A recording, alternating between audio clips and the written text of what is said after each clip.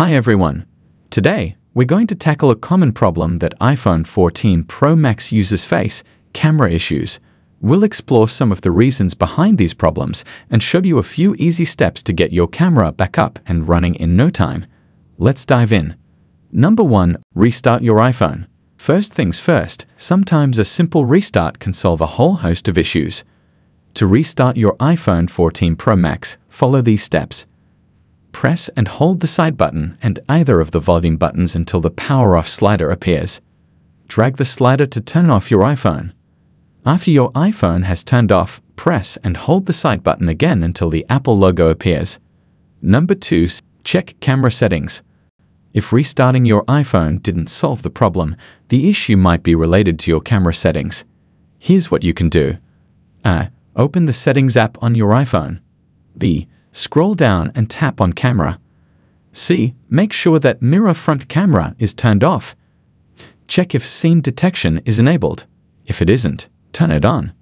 E. Make sure Smart HDR and Photographic Styles are set to your preferences. Number 3. Clo close Camera app and relaunch. Sometimes an issue with the camera app itself can cause problems. To fix this, try closing the camera app and relaunching it. Swipe up from the bottom of the screen and pause slightly in the middle of the screen to access the app switcher. Swipe left or right to find the camera app, then swipe it off the top of the screen to close it. Relaunch the camera app to see if the issue is resolved. Number 4. Update your iPhone. Outdated software can also cause issues with your iPhone's camera. To ensure you're running the latest version of iOS, follow these steps. Open the Settings app on your iPhone. Tap on General. Tap on Software Update. If an update is available, tap Download and Install. Number 5. Reset camera settings. If none of the previous steps worked, try resetting your camera settings. Here's how. Hey. Open the Settings app on your iPhone. B.